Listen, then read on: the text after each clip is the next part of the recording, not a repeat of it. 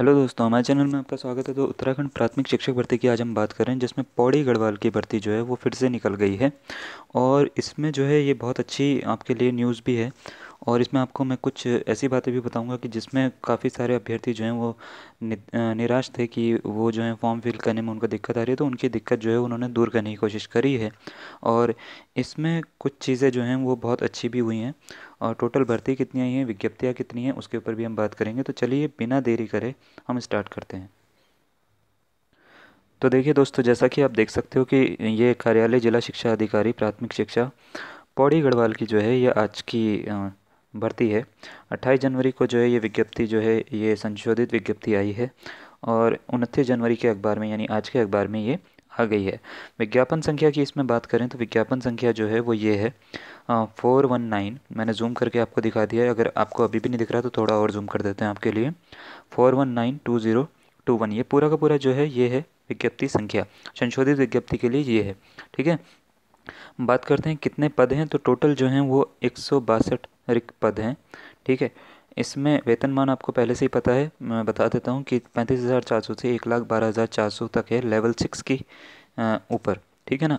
उसके बाद इसकी अगर हम बात करें कि ये कैसे पद हैं और इसमें क्या क्या नया हुआ है तो इसमें दो चीज़ें जो हैं वो नई हुई हैं आपके पास में। क्या क्या हुई हैं? ये संशोधन जो हुआ है, वो छोटा थोड़ा वो संशोधन किया गया है, जैसे आंशिक संशोधन इनको नाम दिया है इन्होंने। दो चीज़ें इन्होंने जो हैं वो अलग करी हैं। क्या क्या? कि शासनादेश संख्या इसके अनुसार 420 के आगे जो पूरा का पूरा लिखा हुआ है, दिनांक 9 दिसंबर के अनुपालन में 2020 के अनुपाल में अनुपालन में, विज्ञापन संख्या 345 के बिंदु गाँव में ऊपरी आयु सीमा जो है, वो छूट तो पहले दे दी थी, एक जनवरी 2020 से अब इसके लिए कर दिया गया है। दूसरी चीज़ जो है, वो क्या करी है? आरक्षित वर्ग के लिए तो वही रहेगा नियम अनुसार छूट जो होगी, वो रहेगी।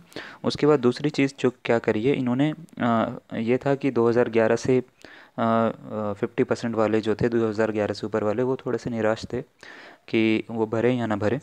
तो इसमें क्या बोला है, माननीय उच्च न्यायालय में योजित रिट याचिका संख्या ये आपको दे रखी है। पूरा का पूरा आ, के क्रम में स्नातक 50 प्रतिशत से कम अंक प्राप्त याचिका गणों के साथ साथ अन्य अभ्यर्थियों जो दिनांक 2011 से पहले के 2011 से पहले के उनतीस सात 2011 से पहले जिन्होंने बीएड या बीएलएड किया है उसमें कोर्स में प्रवेश हो चुके थे, ठीक है? यानी 2011 से पहले की बात हो रही है, उनको जो है प्रोविजनली रूप से जो है आपका जो है एक्सेप्ट कर सकते हैं। वो, उन्होंने बोला कि आप भी भर सकते हो, अगर 2011 से पहले का है आपका तो इतनी तारीख से पहले का है अगर आपका। तो ये दो चीज़ें इन्होंने जो है, वो करी है। अब ये भर्ती निकालने की ज़रूरत क्या पड़ी? तो ये भर्ती जो है, ये बैकलॉग की है। पहली बात तो आपको ये पता होना चाहिए 162 जो पद हैं, ये बैकलॉग के हैं, यानी ये अनुसूचित जाति के हैं।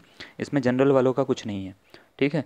तो अनुसूचित जाति के बैकलॉग के हैं 162 पद हैं और इसको भरने का जो है अंतिम तिथि की अगर हम बात करें तो अंतिम तिथि यहाँ पर लिखी हुई है 19 फरवरी 2021 तक आपको जो है ये भर के भेजना है।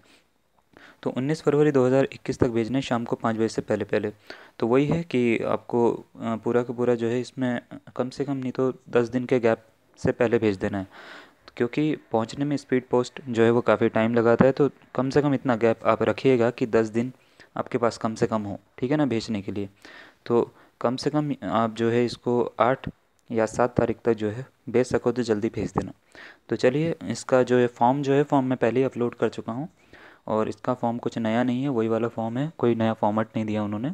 तो ये आप पूरा का पूरा इसी में ही हमारे चैनल पे ही फॉर्म भी डाउनलोड कर सकते हो। धन्यवाद।